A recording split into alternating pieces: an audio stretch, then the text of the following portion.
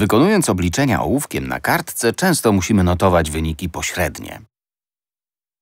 Zapisujemy je w brudnopisie. Brudnopis działa jako rodzaj pamięci zewnętrznej, a pamięć, niezależnie od formy, fizycznie zajmuje przestrzeń. Komputery zawierają pamięć. Możemy powiedzieć, że to brudnopis komputera. Tworząc tablicę do przechowywania wartości w swoim programie, potrzebujecie pamięci.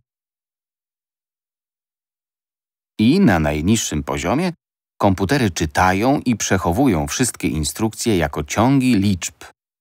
Ale jak przechowywać liczby w maszynie? Z początku problem był bardzo trudny, zwłaszcza, że komputer powinien zachować zawartość pamięci w razie zaniku zasilania. Nazywa się to pamięcią nieulotną lub trwałą. Maszynie najłatwiej jest wykryć różnicę między obecnością a nieobecnością czegoś. Tak działały dawne karty perforowane. U góry mamy dane, a kolumny zawierają serię wybitych dziur reprezentujących każdy znak.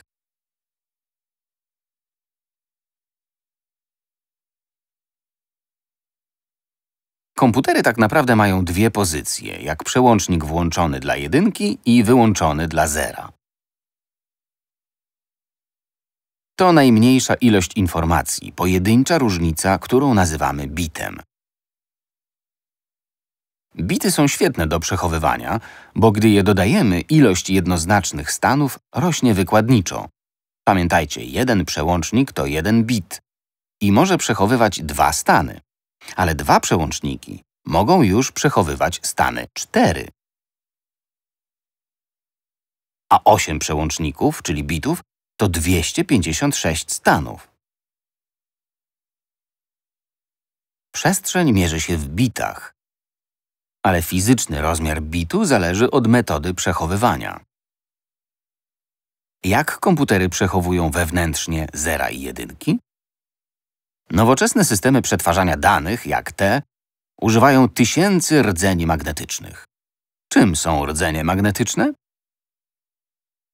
To małe pierścienie ze stopu niklu lub innego materiału magnetycznego. Zastąpiły lampy próżniowe w wielu ważnych funkcjach w systemach przetwarzania danych. Pozwalały komputerom przechowywać bity jako kierunek namagnesowania, prawoskrętny bądź lewoskrętny. Każdy rdzeń mógł zostać namagnesowany w dwa różne sposoby, zależnie od kierunku przyłożonego prądu.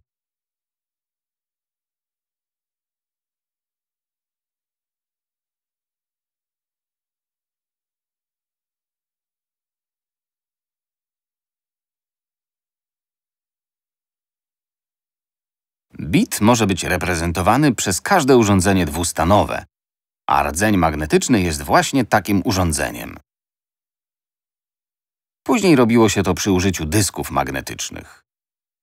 Możemy uważać każdy bit za maleńką komórkę magnetyczną, którą można namagnesować tak, by przechowywała 1 lub 0.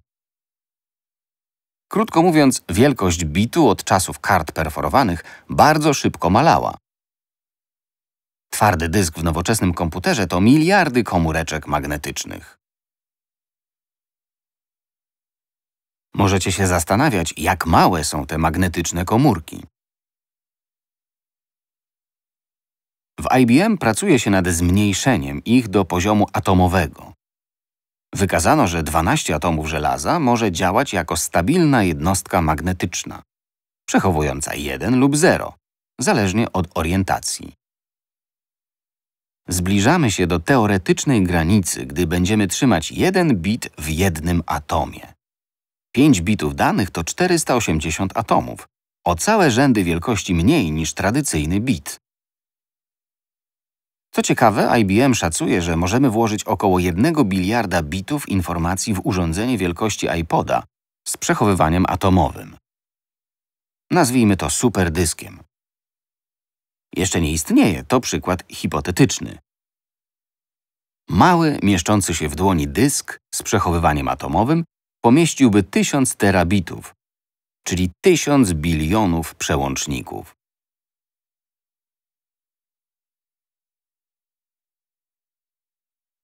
Albo, co częściej usłyszycie, 125 terabajtów w dłoni.